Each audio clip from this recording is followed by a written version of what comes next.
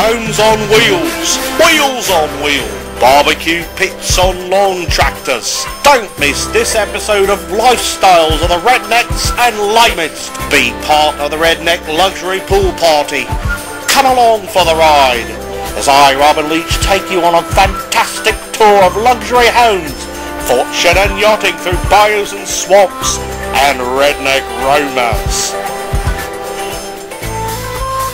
Deep in the heart of Texas, we join Mr. Fry. Direct from his high-rise villa in Buck Tussle, Texas, we join this man who is valet to the original arbiter of all things funky, Pop Daddy, to the fabulous Pitmaster T, from high-tech mobile bag phones from Pop Daddy's stretch DeLorean. Here he is, assisted by his Betty of Beauties, Mr. Fry.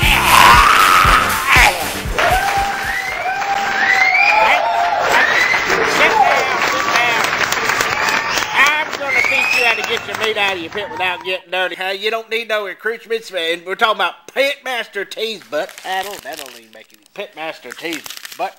Is that what it says here? Oh, you're gonna have to explain that to me. Pop Daddy butt paddle. Oh, I get it. So you're probably saying, hey, I need me my tools to get in there. I need me my glove. I need me my hook.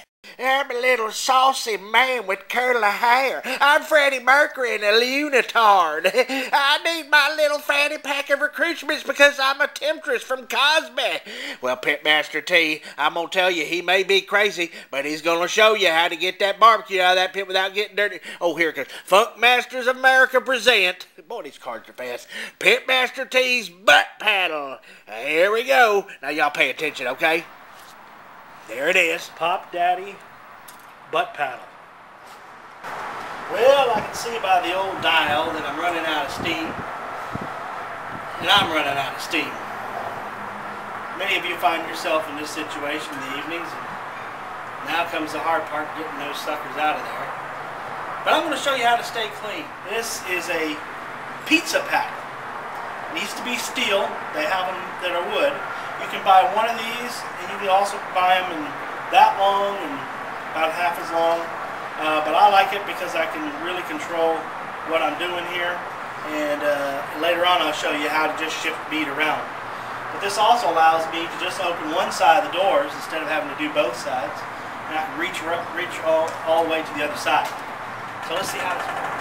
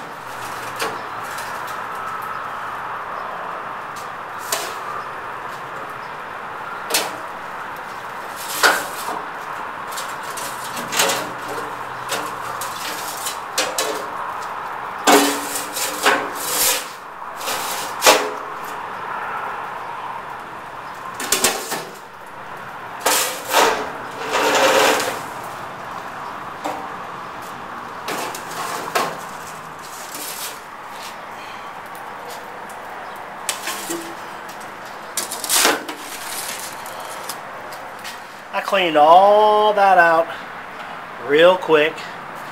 Ooh.